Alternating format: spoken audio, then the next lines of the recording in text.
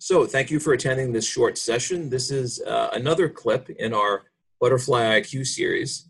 In critical care echocardiography, this particular one, how to use the Butterfly IQ to determine ejection fraction. And in this particular method, we're going to look at the using the mitral annulus plane systolic excursion, or MAPSE, to do so. I'm Christopher Viskopoulos, and I'm part of Medical Specialist Associates. So the first item is, is that in order to get a MAPSE, we need an apical four-chamber view. And here we see a typical apical four-chamber view. And what I want to bring to your attention is, is that what we want to make sure is in plane and in view is the mitral annulus, which is right here. So I'm going to show it again, the mitral annulus, which is right here. Now, ideally, what you would like is you'd like this lined up as perpendicular as possible, but within 20%, which is common, um, is, uh, is equally accessible. And then once you have this particular view, then what we want to do is we want to go ahead and we want to put our M mode on. And so here we see down here our M mode is on and we have that ultrasound beam, single plane coming straight down through the mitral annulus.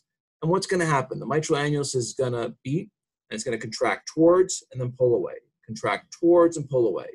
And here we see this up here with the M mode tracing.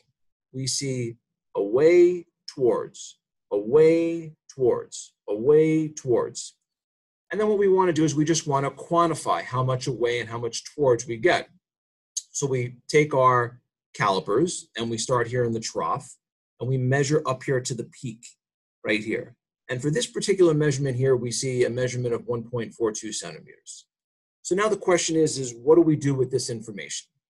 Well, we can use this information um, to quantify ejection fraction. And here I, I show you three different methods on how to do this.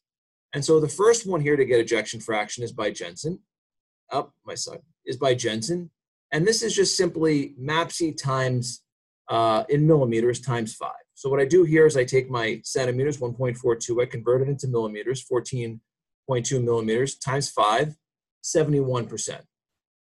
So another equation, and this is by Willenheimer, is we can use 2.9 times the in millimeters plus 15. Let's go ahead and plug in our numbers to this one.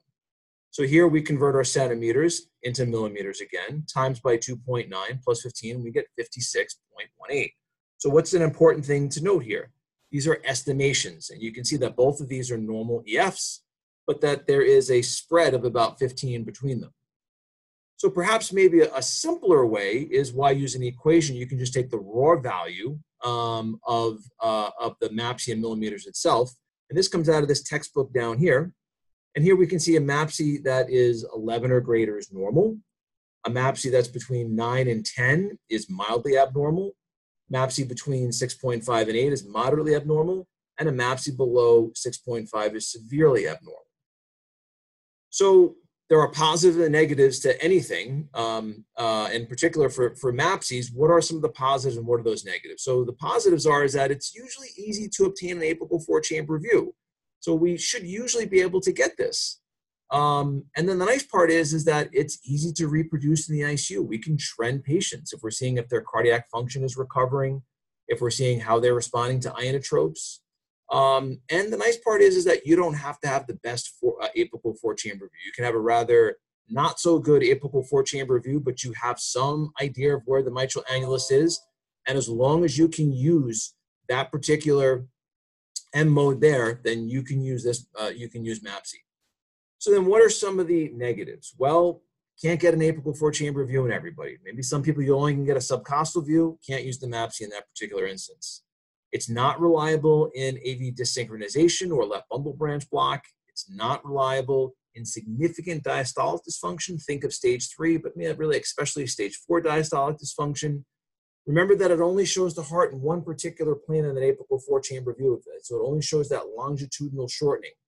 And then it's not reliable in regional wall motion, uh, regional wall motion abnormalities um, for similar reasons that you're only really seeing it in one particular plane and that contraction in that one particular plane. And if you have regional wall motion abnormalities, you're not getting the, maybe the full picture of what the ejection fraction is. So thank you for watching and please send feedback to the email address listed there.